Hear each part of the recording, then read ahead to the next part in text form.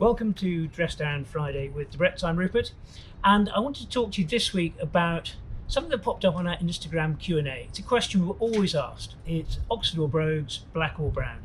Now, if we were in the city of London 30 years ago, the answer would be very simple. It would be black Oxfords.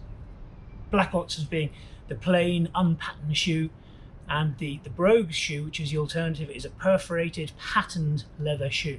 So have things moved on today? Well, the answer is yes. But there are still some people in the city who hold that prejudice about brown shoes in the city. No brown in town is the cry. That has changed a bit, but if you're at all in doubt, if you're going for an interview, maybe a sales meeting, and you think the people you're meeting with have slightly old fashioned views, play it safe. A dark suit, black Oxfords, and you can't go far wrong.